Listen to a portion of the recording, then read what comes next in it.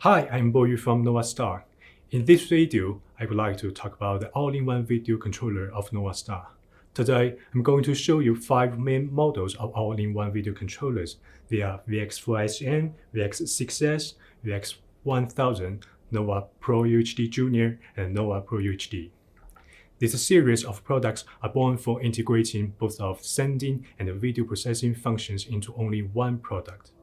With the help of NovaStar's all-in-one video controllers, one product is able to realize not only the sending function, but also the video processing functions like scaling, picture-in-picture -picture display, etc. Next, based on the size of the screen and the practical need of the project, I will introduce how to distinguish each of them. Let's firstly take a look at this Full HD screen. This size of LED screen has become a very basic one, especially the outdoor screen for fixed installation or some small size of rental activities.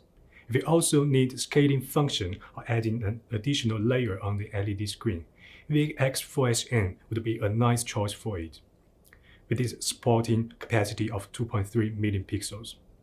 It should be noted that this VX4SN is a new product in 2021. This model is developed based on the old version VX4S, they are almost the same with regard to the basic functions and loading capacity.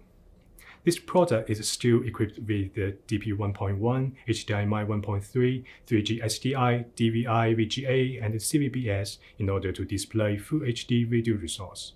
The biggest difference between old VX4S and VX4SN is that we remove some ports that are used less frequently on the new VX4S such as one CVBS port and one VGA port for the input. As a result, the product itself would obtain more processing ability. Some clients might have such troubles if the LED screen is slightly larger than 2.3 million pixels, for example, 2.6 million, 3 million, or 3.5 million. You might have to use two pieces of VX4SN in the past, but now if the total pixels of the screen don't exceed 3.9 million, VX6S would be a very suitable choice. Only one machine is enough. VX6S has powerful video processing capability. It supports 7 video inputs and 6 Ethernet ports for the sending output, so that it supports 3.9 million pixels at maximum. It supports three layers and enables to operate seamless switching function. At the same time, the VX6S supports multiple transition effects, such as quick seamless switching and fade, providing flexible display controlling and outstanding video presentations. The question comes again. If the screen is 4K by 1K or larger, for example, 5 million pixels, 6 million pixels, you might have to use three pieces of VX4SN or two pieces of VX6N in the past. Now, NovaStar is able to provide you another solution. In the summer of 2021, NovaStar officially launched a new product named VX1000, which is equipped with 10 Ethernet ports for the sending output. One VX1000 can support 6.5 million pixels. It's capable of receiving a variety of video signals and processing high resolution of 4K by 1K at 60 Hz, for example, HDMI 1.4 and dual-link DVI. At the same time, VX1000 supports three layers, which is as same as VX6S, with adjustable layer size and position.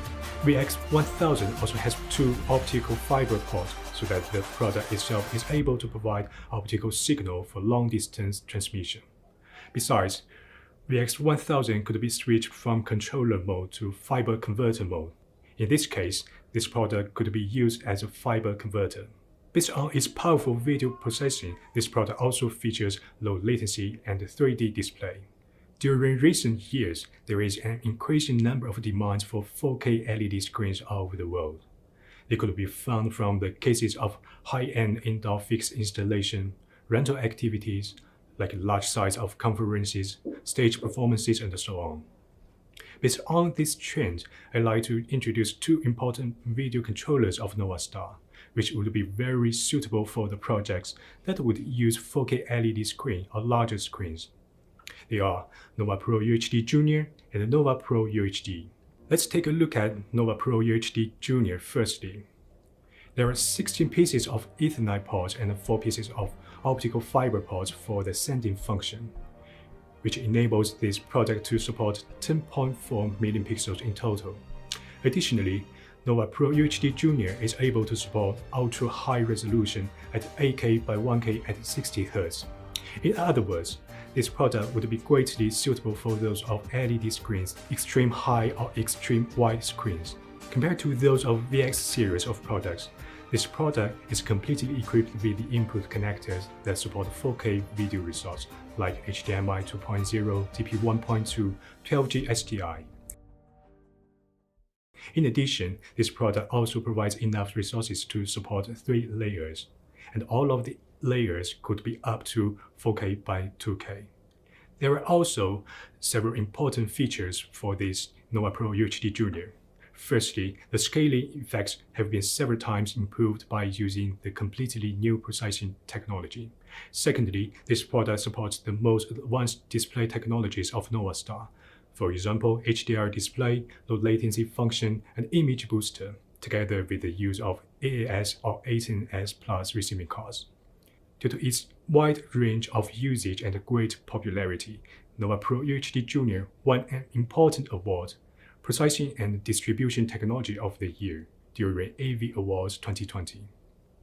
If the project requires more from the video controller, like asking more layers to display, more input connectors, Nova Pro UHD, which has more functions than Nova Pro UHD Junior, would be a wonderful choice. In general, both of these two types of video controllers share a lot of same functions and characteristics.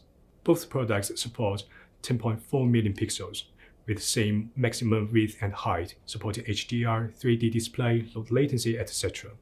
Compared to the Nova Pro UHD Junior, the first difference is that Nova Pro UHD enables you to create six layers totally. Two layers could be up to 4K by 2K, and four layers could be up to 2K by 1K. At the same time, there are more input connectors for this product. Two 12G SDI ports are added, and a replaceable input card with four pieces of HDMI 1.3 input ports is equipped as well. Secondly, Nova Pro UHD supports the backup for the power supply. It would be very risky that the screen turns black on the site, and it would be a nightmare for any rental companies. But with the help of the backup function for the power supply, the safety and reliability of the site could be largely improved. Okay, this is the final seconds of this video. Hopefully you like it. I'm Boyu, thank you for watching this video. Goodbye.